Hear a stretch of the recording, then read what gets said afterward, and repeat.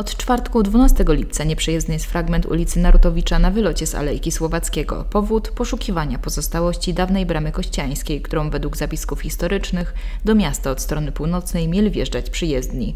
Prace archeologiczne związane są z rewitalizacją Alejki Słowackiego. Nakaz wprowadzenia nadzoru archeologicznego wprowadził miejski konserwator zabytków. Nie wiadomo, czy brama znajduje się właśnie tam, między ulicami Paderewskiego a Poniatowskiego. To zakładana lokalizacja opracowana na podstawie danych historycznych.